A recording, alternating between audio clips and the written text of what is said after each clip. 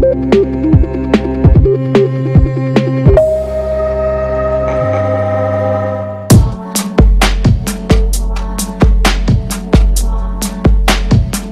Ratusan warga baik perempuan, laki-laki, dan tua muda terlihat bersorak-sorai saat menarik patung Jokowi yang mengenakan busana adat ke atas Bukit Sunu pada Rabu 10 November 2021. Patung tersebut diarak menuju ke atas bukit di Hari Pahlawan sebagai bentuk apresiasi kepada sang presiden. Patung yang dibuat di Bali tersebut memiliki berat 700 kg dengan tinggi 3,5 meter. Dilansir Kompas.com, Kepala Seksi Promosi Pariwisata Dinas Pariwisata Kabupaten TTS, Elju Kambani, menyampaikan informasinya.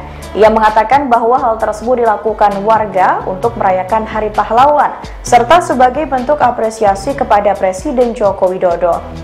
Hal itu lantaran sang presiden sempat mengenakan pakaian adat mereka pada perayaan kemerdekaan tahun 2020 lalu. Patung yang dibuat di Bali tersebut memiliki berat 700 kg dengan tinggi 3,5 meter. Warga diinformasikan mengarak patung tersebut dengan menempuh jarak sejauh 2 km menuju puncak bukit di ketinggian 1,074 meter di atas permukaan laut. Jalan yang mereka lewati cukup terjal untuk menuju puncak Bukit Sunu. Mereka meletakkan patung Jokowi di atas kayu dengan empat roda sebagai penggerak. Patung tersebut merupakan bentuk nilai penghargaan terhadap sang pemimpin.